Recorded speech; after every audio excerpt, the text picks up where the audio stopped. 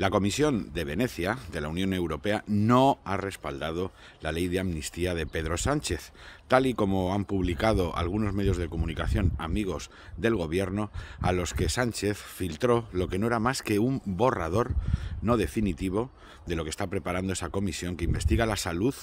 de los estados de derecho de la Unión Europea y también algunas de sus leyes. En este caso, ese borrador lo único que hace es una reflexión genérica sobre qué suponen las amnistías en general en el mundo en términos de reconciliación y convivencia. Pero cuando baja al caso y al detalle de la ley que prepara Pedro Sánchez, dice justo lo contrario que no respeta probablemente la Constitución, que además se ha tramitado por un procedimiento de urgencia que no se puede aceptar y, y esto es lo más